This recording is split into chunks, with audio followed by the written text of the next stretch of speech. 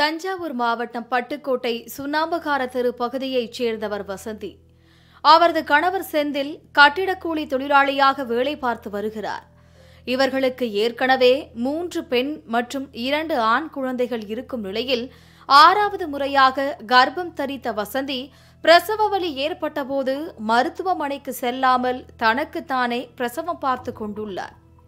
அப்போது வசந்திக்கு ஆறாவதாக பிறந்த குழந்தையின் கழுத்தில் துணியை கொண்டு இறுக்கி கொன்றுவிட்டு குழந்தையை பெயிண்ட் வாளியில் மூடி வைத்துள்ளார். பிரசவத்திற்கு பின்னர் வசந்திக்கு அதிக இரத்தப்போக்கு ஏற்பட அவரது கணவர் செந்தில் மற்றும் உறவினர்கள் சிகிச்சைக்காக பட்டுக்கோட்டை அரசு மருத்துவமனைக்கு கொண்டு சென்ற நிலையில் வசந்தி சிகிச்சை பலனின்றி இறந்துள்ளார். அவர் இறந்த பிறகு உடலை எந்த தகவலும் சொல்லாமல் அரசு மருத்துவமனையில் இருந்து அவரது கணவரும் உறவினர்களும் எடுத்து வந்துள்ளனர்.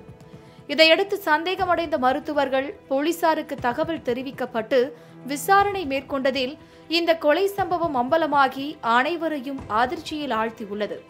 அதனைத் தொடர்ந்து வசந்தி மற்றும் குழந்தையின் உடலை கைப்பற்றிய போலீசார் பிரேத பரிசோதனைக்கு அனுப்பி வைத்துள்ளனர். மேலும் வசந்தியின் கணவர் செந்திலிடம் போலீசார் சம்பவம் குறித்து விசாரணை மேற்கொண்டு வருகின்றனர். ஒரு காலத்தில் வீட்டிலேயே பிரசவம் பார்த்து கொண்டது உண்மையாக இருந்தாலும் தற்போது உள்ள நவீன காலத்தில் மகப்பேறின் போது பல்வேறு பிரச்சனைகள் ஏற்பட்டு வருகின்றன.